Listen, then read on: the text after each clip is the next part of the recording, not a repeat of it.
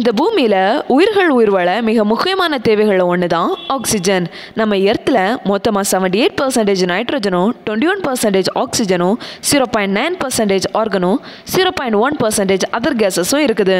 இப்போது கேள்வி என்னென்னா இந்த பூமியில் வாழ்கிற எல்லா மனுஷங்களுக்கும் இந்த கம்மியான அளவு ஆக்சிஜன் போதுமானதா என்ன? ஒருவேளை இந்த பூமியோட ஆக்சிஜன் லெவல் இன்க்ரீஸ் ஆனால் என்ன நடக்கும்? ஆக்சிஜன் இன்க்ரீஸ் ஆகிறதுனால நமக்கு நன்மை ஏற்படுமா? இல்லை தீமை ஏற்படுமா?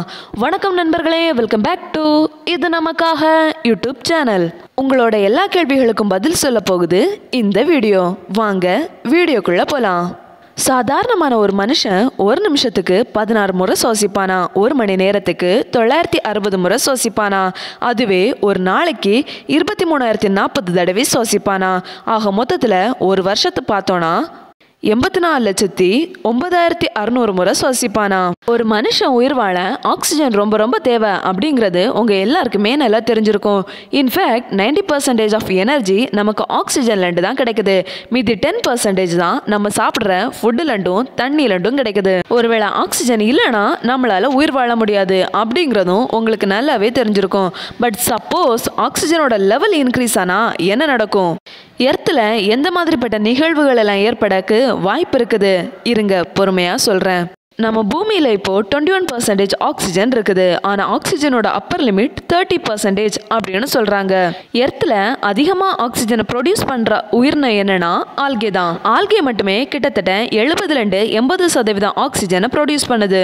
ஒருவேளை ஆக்சிஜனோட லெவல் முப்பது சதவீதத்துக்கு மேலே இன்க்ரீஸ் ஆச்சுன்னா சி லெவலுக்கு மேலே இருக்கிற பிளான்ஸ் எல்லாமே மொத்தமாக அழிஞ்சு போயிடும். அது எப்படி உடனே பிளான்ஸ் அழியும் அப்படிங்கிற கேள்வி உங்களுக்கு வந்திருக்கும். அதோட ஆன்சர் என்னன்னா ஃபாரஸ்ட் ஃபயர் காட்டு தீ. அதாவது பிளான்ஸ் எல்லாமே தானே தீ பிடிச்சி அழிஞ்சு போயிடும். இது பிளான் குரூப்புக்கு வர்றது. அனிமல்ஸ் இன்செக்ட்ஸுக்கெல்லாம் என்ன நடக்கும்னு தெரியுமா? இன்செக்ட்ஸ் எல்லாமே ட்ரக்கியா வழியை தான் சாதாரணமாகவே ப்ரீத் பண்ணும். எர்த்தோட அட்மாஸ்பியரில் ஆக்சிஜன் லெவல் டபுள் ஆகிற நேரத்தில் ட்ரக்கால் ஆக்சிஜன் போகிற அளவு வந்து ரொம்ப இன்க்ரீஸ் ஆகும். இதோட ரிசல்ட் எப்படி இருக்கும்னா இந்த இன்செக்ட்ஸ் எல்லாமே ரொம்ப பெருசு பெருசாக வளரும். முந்நூறு மில்லியன் வருஷங்களுக்கு முன்னால் எர்த்தில் முப்பது சதவீதம் ஆக்சிஜன் வந்து இருந்திருக்கு. அப்போது டிராகன் ஃப்ளைஸ் ஸ்பைடர்ஸ் எல்லாமே ரொம்ப பெருசாக இருந்திருக்கு. அது மாதிரி இன்செக்ட்ஸ் வந்து ரொம்ப பெருசாக இருக்கும் அப்படின்னு வந்து சொல்லப்படுது. அனிமல்ஸும் லைக் டைனோசர் மாதிரி ரொம்ப பெருசாக இருக்கும் அப்படின்னு வந்து சயின்டிஸ்ட் சொல்கிறாங்க சரி ஹியூமன்ஸ் எல்லாம் எப்படி ஆயிடுவாங்கன்னு தெரியுமா? ஹியூமன்ஸ் எல்லாமே சூப்பர் ஹியூமன்ஸாக மாறிடுவாங்க. நம்ம போதுமான அளவு ஆக்சிஜன் சுவாசிக்கிற நேரமே நம்ம உடம்புல நைன்டி பர்சன்டேஜ் எனர்ஜி வந்து ஆக்சிஜன் ரெண்டு கிடைக்குது. நம்ம அதிகமாக ஆக்சிஜன் சுவாசிக்க ஆரம்பித்தோன்னா நம்ம உடம்புல நிறைய எனர்ஜி வந்து ஃபார்ம் ஆகும். நம்ம உடம்புல நிறைய எனர்ஜி ஃபார்ம் ஆகுதுன்னா நம்ம உடம்புல பிளட் சர்க்குலேஷன் எல்லாமே ரொம்ப ஸ்பீடாக நடக்கும். அப்படி நடந்ததுன்னா இவ்வளோ நாள் பல மனுஷங்க கஷ்டப்பட்டு நிறைய வேர்ல்ட் ரெக்கார்ட்ஸ் க்ரியேட் பண்ணி வச்சுருக்காங்க எல்லாம் அது எல்லாமே நம்ம ஈஸியாக பிரேக் பண்ணலாம். நம்ம சூப்பர் ஹியூமன்ஸ் ஆகிட்டோன்னா நமக்கு அடிக்கடி உடம்பு சரியில்லாமல் எல்லாம் போகாது. ரொம்ப ஆக்டிவாக இருப்போம் அப்படின்னு வந்து சொல்லப்படுது. பட் ஒரு குறிப்பிட்ட லெவலுக்கு மேலே ஆக்சிஜனை சுவாசிக்கிறது வந்து ஆக்சிஜன் டாக்ஸிசிட்டியே ஏற்படுத்தும். ரெண்டு மூணு நாள் இந்த ப்ராசஸ் இப்படியே கண்டினியூ ஆச்சுன்னா நம்மளோட லங்ஸ் வந்து சீக்கிரமாக டேமேஜ் ஆகும். அது மட்டும் இல்லாமல் நம்மளோட கண் பார்வை வந்து ரொம்பவே குறையும். நம்ம உடம்புல இருக்கிற செல்ஸ் எல்லாமே சீக்கிரமாக இறந்து போகும். அதனால அந்த செல்ஸுகளால் ரீப்ரொடியூஸ் பண்ண முடியாது.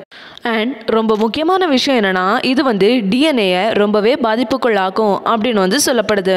சப்போஸ் இந்த கண்டிஷன் ஃபியூச்சரில் ஏற்பட்டுனா அந்த சூப்பர் ஹியூமன்ஸ் எல்லாமே ஸ்பெஷலான மாஸ்க் போடுவாங்களாம். அதில் வந்து நைட்ரஜன் மிக்சர்ஸை கலந்து கொடுப்பாங்க அப்படின்னு வந்து சயின்டிஸ்ட் எல்லாம் சொல்கிறாங்க ஒரு விஷயம் தெரியுமா? ஆக்சிஜன் அட்மாஸ்பியரில் மட்டும் இல்லையா? எர்த்தோட க்ரஸ்ட்லேயும் ரொம்ப மேஜர் ரோல் ப்ளே பண்ணுது அப்படின்னு வந்து சொல்கிறாங்க எர்த்தில் வந்து மூணு லேயர் உண்டு. ஒன்று வந்து க்ரஷ் இன்னொன்று கோர் இன்னொன்று வந்து மேண்டில் அந்த டாப் லேயரான க்ரஸ்ட் வந்து ஆக்சிஜனோட லெவல் வந்து இன்க்ரீஸ் ஆச்சுன்னா ரொம்ப ஹெவியராக இருக்குமா? அதாவது அட்மாஸ்பியரோடவும் ரொம்ப ஹெவியராக இருக்கும் அப்படின்னு வந்து சொல்கிறாங்க இந்த மேலடுக்கான க்ரஸ்ட் வந்து ரொம்ப ஹெவியராக இருந்ததுன்னா அதில் இருக்கிற திங்ஸ் எல்லாமே ரொம்ப சீக்கிரமாக ஆக்சிடைஸ் ஆகும். ஃபார் எக்ஸாம்பிள் தண்ணி. தண்ணியில் உள்ள ஹச் வந்து ஹைட்ரஜன் பெராக்சைடாக ஆக்சிடைஸ் ஆகும்.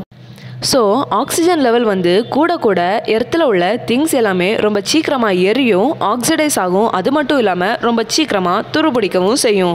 ஒருவேளை இந்த சுச்சுவேஷன் ஃப்யூச்சரில் வர வாய்ப்பு இருக்கா அப்படின்னு கேட்டால் இல்லைன்னு தான் சொல்கிறாங்க ஏன்னா நாளுக்கு நாள் ஆக்சிஜனோட லெவல் வந்து கம்மியாகிட்டே தான் போயிட்டுருக்குது. ஸோ ஆக்சிஜனோட கண்டிஷனை ஸ்டேபிளாக மெயின்டைன் பண்ணக்கு முடிஞ்ச வரைக்கும் மரம் நடுவோம் இயற்கையை பாதுகாப்போம்.